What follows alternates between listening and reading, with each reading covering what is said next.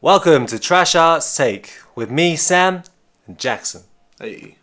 Now, as you may have heard the day before on May the 4th, Ryan did his whole Star Wars thing with Mike Reed and Kieran Edwards, so he's not on this show because today's show we first have an interview with Uganda filmmaker Edris Adams, and then after that, we're going to have a little chat about Star Wars from an alternative take on people who don't particularly like Star Wars.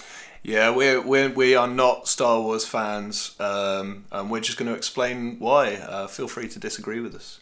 But first, here's an interview with Edris Adams, good buddy of mine. Enjoy. Okay, I'm here with Edris Adams for Trash Arts Talk. How you doing, man? You good?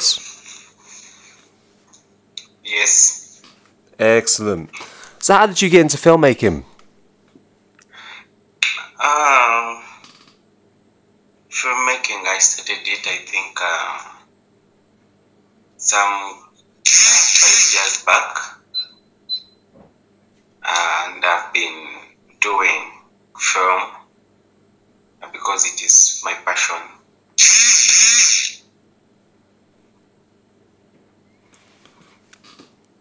Can you um? Sorry, your phone is your phone vibrating because it keeps vibrating. Your phone keeps vibrating aggressively.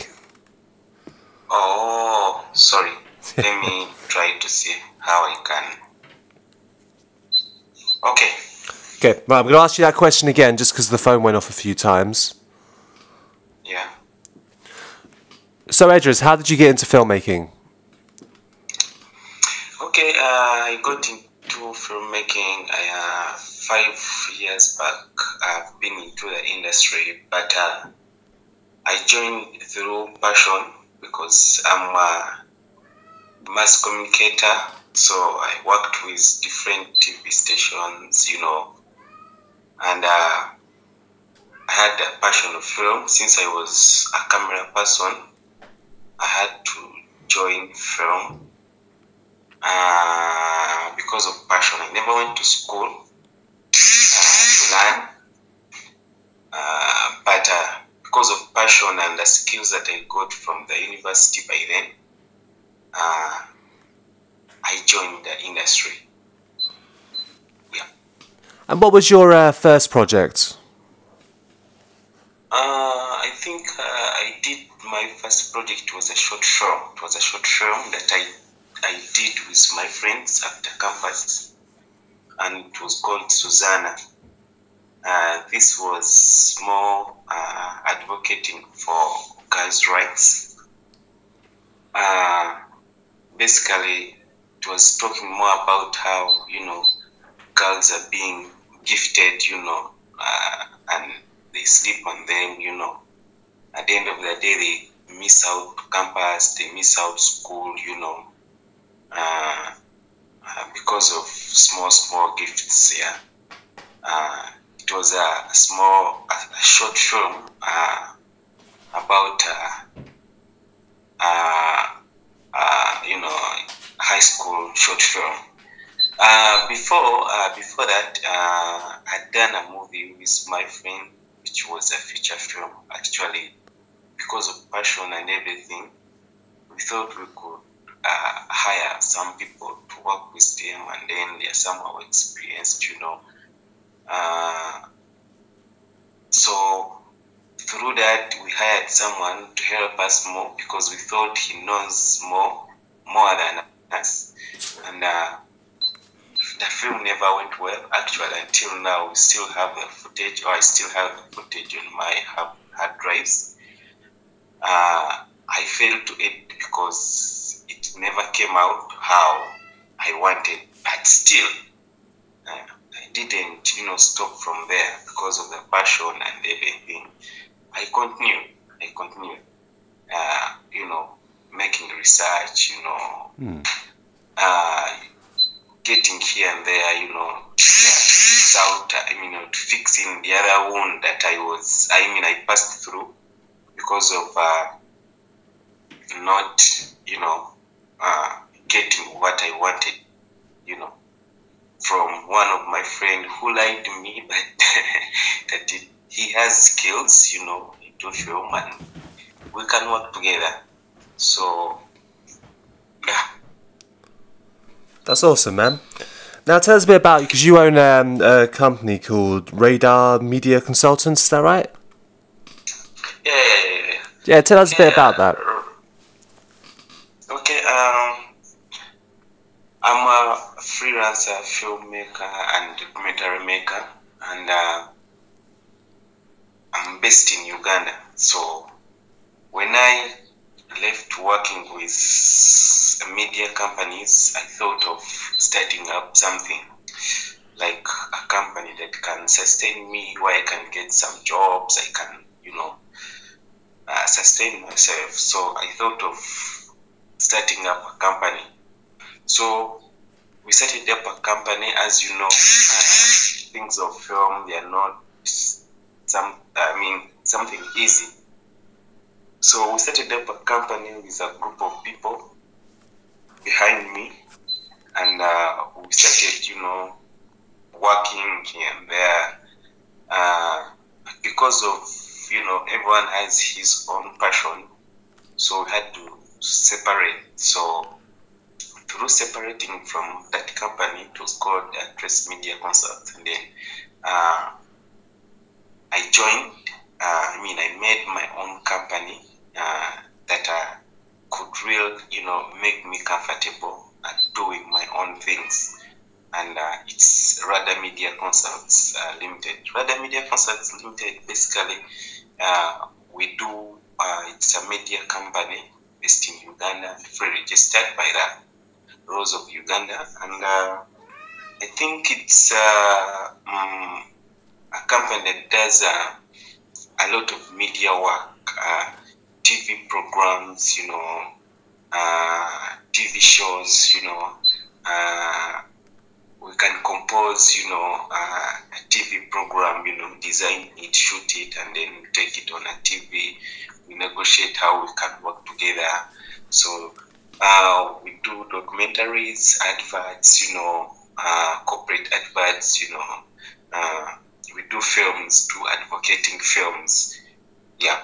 So that's how uh, Radar Media runs, and that's how I collaborate with Radar Media. It's uh, my company, and I'm the director. That's fantastic, man. Now, how do you find uh, making films in Uganda? Well, what does uh, does Uganda give any support or help, or because I, I, if it's anything like my country, I imagine they don't give you any help whatsoever.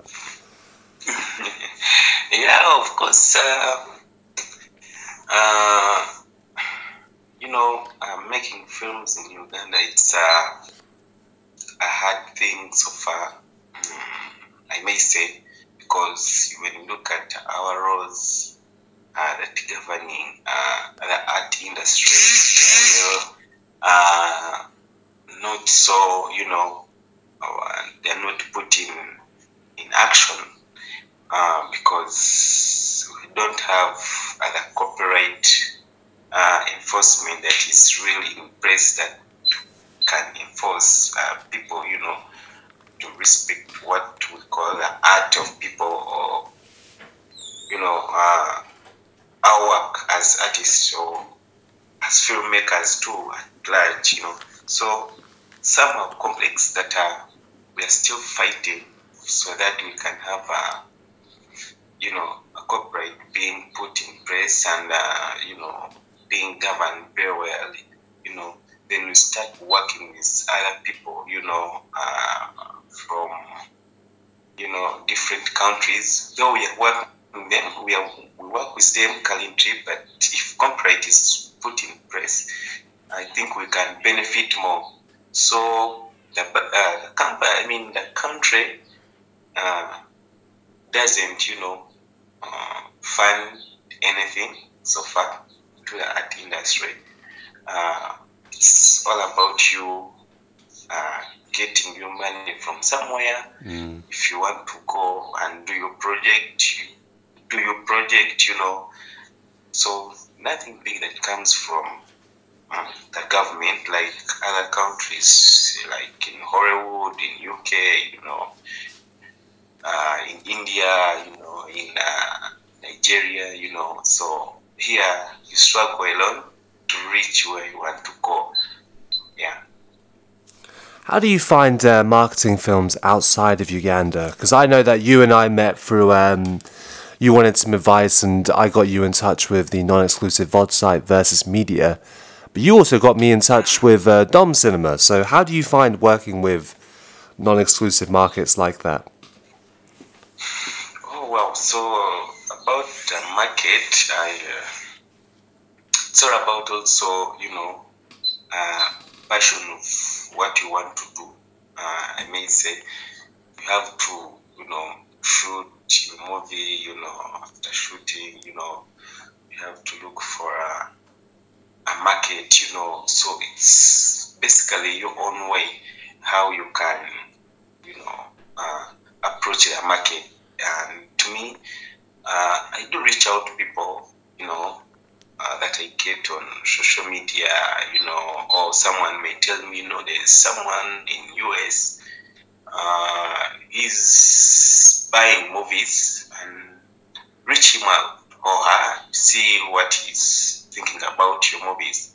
So that's how I try to get the market and try to reach out uh, different people in India, uh, in uh, US, because in India soon, I think it will be uh, screening my movies, and uh, I've been working with a certain company in US. It's called uh, Venice. Uh, it also has some online channels that uh, stream live. So basically, that's how I do get market, but it's somehow complex and I, I call upon if there is any, you know, uh, any company that is willing to, you know, buy my movies and my work, yeah, they can recontact me. And uh, I have, I, I think I have some good content, you know, yeah. Totally understand, man. And what are you working on at the moment? At the moment, do you have any future projects? Yeah, well, um, at the moment, uh, because of uh, this uh, corona epidemic, epidemic uh, I was shooting, but uh, we stopped. And uh, because of what is going through, currently, I had a project uh, in Kenya uh, that I was going to shoot. That is our neighboring country. Uh, I was traveling to Kilimanjaro soon. There's one of my friends from uh, US I used to work with. Uh, wanted me to work with him on set. Uh, I had my own project, my own feature film that I was shooting, uh, but uh, we stopped and we'll be resuming soon. Yeah. That's awesome, man. Let's hope you can get back to those projects soon. Right, I have one more question for you. If you had like no budget, no country restraints, whatever you wanted to film, what would be your dream project? Um, I think uh, I'd love to you know, a massive project that can cut across the world, uh, working with different, you know, film producers, you know, directors, you know, and uh, I'd love to see that. I would love to see that. I would love to be on such a set. Though uh, sometimes dreams come true. Uh, soon be, I mean, uh, we had uh, some arrangements, uh, like in August. Uh, would be working on a big set. Uh, I have my friends that are from uh, Hollywood. Uh, we've been together here in Uganda uh, for a couple of days, uh, making pilot study. We'll be shooting a project about uh, upcoming musicians, how they struggle in Uganda to reach on top. And uh, we've been on survey, we've been on uh, piloting, you know, been working on little little things on ground, following up some upcoming musicians, you know, how they struggle, how they reach on stage and everything. It is a project that uh, I think I was going to engage in that is too too big and uh, seventy percent or ninety percent it's our local you know people that uh, will be you know uh, shooting it you know directing you know uh, working on it you know acting you know so yeah i'm waiting for such a time to happen too That's awesome, man. That sounds really cool. And hopefully, we can um, get some more updates and tell people about it on the podcast. Well, thank you very much for joining us, man. And uh, I hope you have a lovely day. Thank you so much. Thank you so much. So another thing before uh, I leave, uh, No worries. here in Uganda, yeah, here in Uganda, uh, you know, making a movie it's not something easy. Uh, what I resorted to it's uh, starting something like uh, a community-based uh, organization whereby I can create the youth to come together and uh, we work together. Teaching them some skills, you know, uh, empowering them to film and uh, uplift different talents. So I've done that and uh, I'm now successful. I don't usually engage uh, uh, big actors like uh, Hollywood is and Bollywood. So I do basically community thing and willingness of the people. So that's how sometimes I do shoot my movies. That's awesome, man. Like, you have a similar attitude that I know um, that we try to have as filmmakers and other people that I've spoken to. It's all about when we're independent and when we don't have those budgets, it's about supporting and getting people creating. So it's awesome, man. Yeah, yeah, yeah. All right, So man. that's how you know we do something. You know, we work out something here. Definitely, man. Right, you have a lovely day and I'll speak to you soon. Okay, thank you too to reaching me uh, for reaching me out. I'm so happy and humbled. Uh, I think we'll be sharing the link of uh, uh, this interview and then we share it to the world. No worries, man. I'll speak to you soon. Bye bye. Okay, bye. Yesterday was May the 4th, which for a, a big proportion of people is significant. Now, today is Revenge of the 5th, so we're going to look at some contrasting points to what they may have discussed yesterday. Now, we're not going to talk about story because we're not here to rip apart the storytelling of Star Wars. For one, I have not seen all the Star Wars films. No. No, not the. I haven't seen the more recent ones. Um, I think the last one that probably you and I both saw was um, I can't even remember what they're called because there's so many names. Force Awakens oh yeah, when they brought Star Wars back, and then after that it was like there's one every year now. and the, the the problem with Star Wars that we want to look at is how it's affected the industry. yeah, and affected film culture generally. Like I think Yeah. it's it had a massive impact, and uh, in my opinion, I don't think all of that has been good. No. Um, yeah, Now, the original Star Wars came out in 1977. And before the film came out, George Lucas got a collection of directors together who were like pretty relevant back then. So we had Francis Ford Coppola, Brian De Palma, Steven Spielberg, and some other guys I can't remember their names. And essentially, the cut they saw was very rough. The CGI and a lot of that stuff wasn't in there.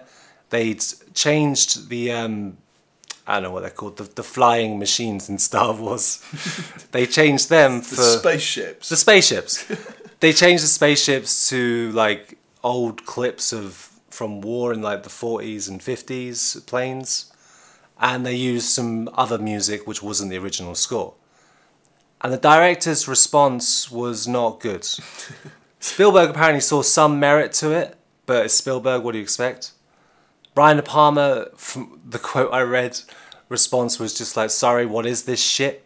Francis Ford Coppola was very angry because at this point they were trying to make art films that could be profitable and successful in their own right. If we remember that the blockbuster before Star Wars was films like Godfather, The mm-hmm. Exorcist. They were the films that were critically acclaimed and good storytelling. yeah, And I think that's one of the things like from that response, George Lucas apparently felt like his life was over, felt like it was ruined, but obviously had to continue making the film, and the rest is history. Yeah. And it changed everything. It changed that very notion of what could be, what the studios wanted to focus success on. Well, it sort of took the the B movie and and played up to the sort of popular elements of that, and sort of inserted like this um, A movie kind of seriousness into that that, that wasn't self aware, wasn't um, didn't have that same sense of fun and silliness and creativity to it. Um, and as much as like I can't say that Star, you know, Star Wars is massively creative and Yeah. the, the way that they built can't things deny the it- Yeah, of course, the craft is incredible. But I, I feel like the the impact it had on film from there made made these B movies more like more more serious and and took away from that that sort of aspect because you don't really get B movies like you did in the in the early seventies and, and the eighties and the, the, you know that sort of time period. It's it's whittled out. Well, no, yes, it's again, it's, it's studios wanting to go. Well, where's the next Star Wars? Where's the next thing that's going to make us lots of money? And because like George Lucas, and we, you know, you can't not talk about Spielberg being part of this. Spielberg's whole brand was pushing that towards that, and it changed. It just changed where the the creative focus was. Was it the filmmaking money, or was it what the creative wanted to do? And I think Star Wars, unfortunately, was a big part of that you can just you can just see there's a great book by uh, Peter Biskind, Easy Rider, Raging Bull, and it looks at the film scene from 1969, from when Easy Rider came in and changed everything, and the crop of directors who just kept making brilliant films that made money. And sure, they were based on books; they weren't all original properties. Um, but after that, when you get towards the Spielberg and, and towards George Lucas, you slip into the 80s where everything changed and it became industry focused in that way and brand focused. And Star Wars is the ultimate brand. That's why Disney paid so much money for it. Yeah. And that that's the problem. Like, sure, you can be like, oh, but the original Star Wars films, like, yeah, but there's a whole lot more of it now. And it's never ending. It just won't stop. And I think that that merchandising in Star Wars it was one of the first really big merchandising films that made an awful lot of money out of merchandising, and it did change the way that studios looked at what film could be in terms of the asset that it could produce. I think- and so you know it, it became much more um, com- uh, like much more compelling to to create a film that could sell a toy as opposed to one that was just a good story or a good film itself. Well, I think um, that's that's the other thing, and and it made the studio's main priority to do family films, hmm. films that would appeal to children, so they'd want to buy the toys, and the adults would still be entertained by the old adventures that they've seen a hundred times, but just in a new shiny form. And like studios. I mean, I'm, I'm probably wrong, but I can't think of loads of major films that are aimed around families in the 70s mm. in general. It's a bit of a big kind of assumption, but compared to where the 80s and 90s and where we are now, of where the studio's main focus is family orientated films, and unfortunately, family orientated films don't always allow to have the, the, the, um, the depth of story sometimes, Well, you you especially have to, with the directors who were coming out in the 70s. Yeah, I mean, I think that any artistic form has to has to challenge its audience, and that's that's the problem is with with that kind of family content is that how how do you challenge that without upsetting people, without sort of causing some sort of controversy. Um, yeah, and I think Star Wars definitely contributed to that that direction that the studio saw the money in. Well, if we jump like right towards now, when it comes to that sort of when you do try to do something in a Star Wars film, again, haven't seen them, but you've seen the online response to trying to be even remotely progressive or do any changes within the Star Wars world. The fans become very toxic. Yeah, and I feel like they, to a certain extent, have ruined their own. They ruined their own uh, uh, film franchise. That, Yeah. they, that they absolutely, they obviously have loved it to death. I think. Um, And the thing is, because Disney is in charge right now, all they want to do is feed the fans exactly what they want. So if you try to bring any challenging ideas, and I think this is a general creative thing in Star Wars completely, is that whenever you try to bring a director or a creative who wants to do something different within Star Wars, someone will stop it. Or, like in the 80s, when David Cronenberg was offered the job, he turned it down. When David Lynch was offered the job, as soon as he saw the Ewoks, he just, that was it. He was done. But you come back to now and you have directors who are genuinely brilliant, like um, Phil Lord, the Lord and Miller di- directors, the guys who do Lego Movie, 21 Jump Street. They were the original directors of Han Solo. But because of their style involved more of an improvised way, and they pushed it into directions like that, which steered away from the Star Wars scripts, which are pretty much written by every Star Wars person. They they fired them, and you know, good old Ron Howard came in to save the day. But they kept doing this. There's also Josh Trank who was going to direct a Star Wars film, but because he upset one producer of a 20th Century Fox film, he lost the job. Star Wars directors don't tend to stay in one position unless they're like J.J. Abraham who jump in just because they know it's going to steer it towards some sort of money at the end of the day. Well, I think uh, J.J. Abrams is is quite a journey director, really. Like, I, I I think that you know when he first when Star Trek first happened, like when he first did Star Trek, uh, everyone was kind of like, "Wow, there's a real style to this." But as it as it's gone on, I feel like it's it's style over substance, really, with with him. But well, he's he wants brands. That's why Um, yeah. like he you know did the whole 500 million contract with Warner Brothers because they have more IP. Hmm. Apple offered it, but he was like, you don't have any original, you have any franchises that I can play around with. Hmm. That's why he's interested in. Which is not necessarily a bad thing because sometimes you can do good with that. He did good with the Star Trek at the beginning, yeah, And then yeah, then it went quickly Yeah. downhill. But that's the thing when it comes to like almost strangling that opportunity to have creativity. You're really just following what and the it's not just fans. It's like the business narrative wants. And anytime they do try to pull in something different, even Rian Johnson's uh, Last Jedi, like it made loads of money, but it was hated by Star Wars fans, and he was going to do his own Star Wars trilogy. I don't think there's been a film that's come out in the last 10 years that hasn't been hated by Star Wars fans generally. Like, there, there's always been a portion of Star Wars fans that have hated the film. In fact, since the original trilogy, really. There's, but now it's it's much more um, accessible on Twitter and things like that. So you, you have these sort of uh, fan factions mobilizing in some in some way. Well, this is Um, it. Star Wars has always been a stubborn fan base. It's a dedicated fan base that if they really like Star Wars, they know the whole entire world. They know everything about it. Hmm.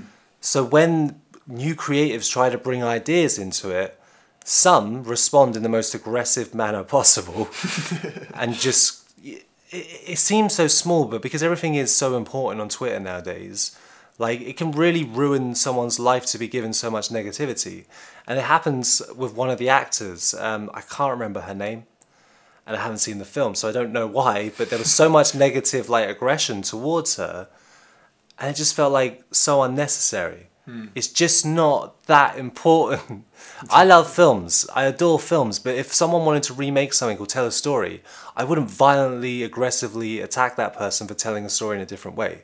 I wouldn't That's say- what makes it exciting. I wouldn't say violently. I mean, it was it was violent threats on. Oh, Twitter, yeah, yeah, alright. But and obviously you see that um, that kind of toxic level of fandom in Marvel as well, um, and it does feel like Let's be Marvel. fair. Mar- I think Marvel really is a, a child of, of sort of that Star Wars kind of mentality of creating something that is is vague enough to allow anyone to identify with it, and um, and is good for selling toys. I mean, I know obviously Marvel was a comic book first, but the way that the films have, have worked feels similar in, in some ways. Do you, do you, do you kind of get what I mean? I do. I mean, like a lot of that's to do with Disney, but then because everyone's been taking that approach recently, because DC are in the same, like Yeah. their fans are crazy and they still think there's going to be a Justice League Snyder cut. You know, they're obsessed with that shit. But like, I think this is the general problem with fandom. Fandom holds on to an idea, and because for a long time, Star Wars, Marvel, DC, all this stuff was a very small group of fandom. That was it was an important group, but now it's become a very mainstream thing. And those ideas just get it just gets a little bit more muddled. Yeah. They get watered down and kind of bastardized and yeah. Yeah, and it's not Star Wars' fault. It's Disney's fault. Yeah. it's the fact that Disney made it a bigger thing. Like because there was such a long break between Revenge of the Sith, which was uh, 2005. The next Star Wars film was like 2015. Because it's not Yeah. been it's, it's not been that long that we've had loads of Star Wars and everyone went shut about yeah. Star Wars. And that's like that's a long time and fans just grow. And they grow and grow and grow and there's obviously computer games, comic books, whatever to bring it on. But because Disney bought it, they made it huge. They did exactly the same thing with Marvel. There have been many Marvel films before um, Disney got involved with them. And they were nowhere near, apart from the Spider Man films. And if we're looking into the 90s, none of them made as much money as anything in the 2000s. And like Disney just bought the brand and went, we're going to make this huge. Hmm. We're going to make this big. And they did. The first film made, I think it was 2.3 billion, Bloody hell. The Force Awakens. Yeah. And the other one made 1.6 billion, and the last one made like 1 billion. Which is, again, you can't appease the fans. In the old days, the Star Wars fans, they would they would just see where the storytelling's going. Mm. But now they believe they know where the storytelling's going. And I think generally, I, I, I'm glad Ryan's not here, but the fact that there are so many YouTube videos talking about Star Wars and where the fan theories, fan theories, fan theories are very toxic because they generally can overtake where the story was going. Because the people get so annoyed about it, being like, well, this is what everyone thought it was going to be. And it's like, well, that's not what they wrote. That's just what you collectively, people on YouTube, sat and spent ages and like, spent hours just talking about, and people that are addictively just following your ideas. That's not where the story was going. It kind of feels like religion in that in that respect. Like it, Well, it- that's it. Star Wars is a religion. Mm. That is why it is genuinely recognized, or at least the old thing of you could put yourself as a Jedi on the. yeah. You know, it, it, happened so long ago, and because it was a small, like a small religion, but now it's dictated by, well, just Disney's capitalist greed. Hmm. It's just everywhere, and it's got so toxic, and and also Star Wars has it's none of the films are making as much money that Disney expected. Sure, in the beginning, but Han Solo was a massive flop. Hmm. And the fact is, if you if you really like Star Wars, from what I hear, everyone just wants to talk about the Mandalorian. And again, that seems to play completely into going right. We're going to be just like the first three. And when you get nine films in and you're still going back to let's be like the first three, it gets a bit dull. It's it's very similar to like a lot of franchises that have been around for too long. Mm. Alien, Yeah. if there's another Alien film, it's like, why? Just just let it rest for a while. the first Alien's great, second one's great. After that, they get continuously worse. Predator, all these mostly space films, it seems. Yeah. And I think that was one of the things we were discussing Well, earlier. soft sci-fi films. yeah, really, that's it. Soft yeah. sci-fi completely dictated where sci-fi was going. Before that, if you if you think about the sci-fi films before Star Wars, they were more philosophy driven. Hmm. They were more questioning ideas. It wasn't about the adventure. It wasn't about playing to crowd pleasing, you know, making you feel good or making you want to be like, oh, let's see where this is going. It was more just like, you know, 2001 Space Odyssey, hmm. Which is just so crazy, but it's considered, it's a mainstream sci fi, really. Everyone knows what it is. There's a director whose name I'm not going to try and pronounce, but he made El Topo, and he's a Chilean director. And he wanted to make a version of Dune, which uh, Dune was eventually made by David Lynch and is going to be done by the guy who did Arrival, uh, coming out later this year. We'll see. Now, this version of the film that he wanted to do, he wanted Pink Floyd to score it, he wanted Mick Jagger in it, he wanted Salvador Dali on the art team, and they were just like the most insane, huge budget, philosophy driven sci fi, and they would not touch it. And then some of those ideas were taken apart and put in different films, and they were heavily taken from Star Wars, which kind of produces like a, a popcorn version of those ideas. Hmm. And I think that's where the studios went money. We can get money from just giving them a little bit of those big ideas, tying it to some more popcorn, general, you know, love stories, or just, you know, one of the things that always annoys me about Star Wars is little comedy guys. There's too much of that trying because it's appealing to the kids, and it's not appealing. It's not appealing, you know. and, and that's the thing when it comes to like those sort of things where you, you're making like a watered down version of something that could have been a lot better, but the studios didn't fund that film because it was probably crazy either way. But they didn't fund it because it was too big of an idea. And the studios stopped wanting to fund those big sci-fi films, and it shows in history that when a sci-fi film has had the massive budget, even the Blade Runner sequel, they bombed. They're remembered, and the ideas are explored and discussed more than a lot of like the more fluffy process pr- procedures of um, after Star Wars. Because there probably was like, because the thing is, I don't know personally, but there must have been a glut of Star Wars wannabe films after Star Wars. There must have been loads. Yeah, you'd imagine so, but I, I guess none of them have really. Uh, I think it's the, the way that Star Wars is structured. Loads of people always say, yeah, that's basically Star Wars. That's basically Star Wars. Because it's an easy structure that people. well, it's it's the it's the chosen one kind of Yeah, idea, isn't yeah. it? Like it's it, it's played out in so many other things. And that's it. That, that's it. Star, Star Wars personally just doesn't do anything to me that makes me go, wow, that's different. I think the the thing to me is I don't I don't understand what the rebellion is fighting for. Um, if you've got a good answer, uh, put it below. But I I I just have I, I there there doesn't seem to be um, a particular uh, ideology or, or philosophy that they're espousing. Um, there seems to be no sort of idea of what they'll do after they've beaten the empire uh, that, that stands out to me. There might be in some um, you know Star Wars book somewhere that you know just, Well, that's that's the other. that's the thing is there's so much content. Like how can you how And can you sometimes you have to, like-? It's like from what I remember, the new one, the, the um, what's the new one called? God, I don't. I don't The Rise of the Skywalker. That's, That's the it. one. Um, when that film came out, they did. There was like some story point to do with the old old man villain Palpatine, and he had to play a computer game Fortnite to be able to get it, which is ridiculous. And they did exactly the same thing with a character, which people went, "Oh, that must be." Um, I can't remember his name.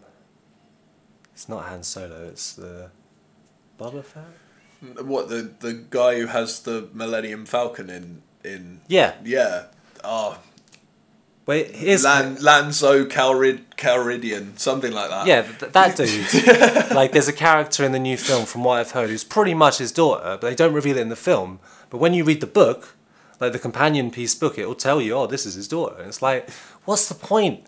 It's just doing it for money. But but again, that's Disney. That's always Disney, and that's the direction Star Wars continue going into. But I think I think it also plays into that like that toxic fandom of having like more answers than someone else because you've read another book or you've uh, you know it, it gives you it- think you're ahead. So yeah, that's our perspective. Um, it doesn't necessarily mean that we're right because obviously there is a massive audience for these films. It's just when people go on about Star Wars, I feel like people forget too easily things with it. They're, they're too dominantly like this is this. I, I find it strange that people see them as the greatest films of all time, or at least like their favorite film of all time. It's like I just there, there's more to cinema than just Star Wars, and that's my problem with it. But I know that at the same time, there's a great appreciation for it. And it's it's good that there is actually that much love for a film out there. Yeah, I mean, I think to me, I, I loved Star Wars when I was a kid, but that's the that's kind of That's how I see it. Is yeah. that it was They're it was kids. a thing for kids. Like I loved Power Rangers when I was a kid. I wouldn't, I didn't see the new Power Rangers movie.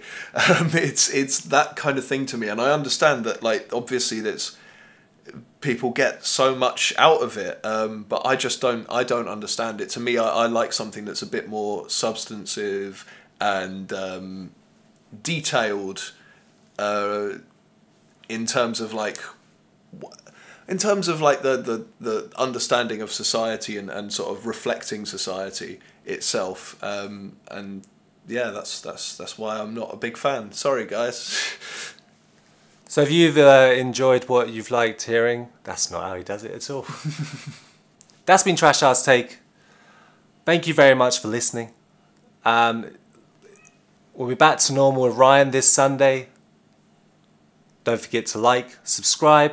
and Um, uh, comment if you if you disagree I mean we're not going to argue with you you can might. just say well you you might but say what you like Peace out. ta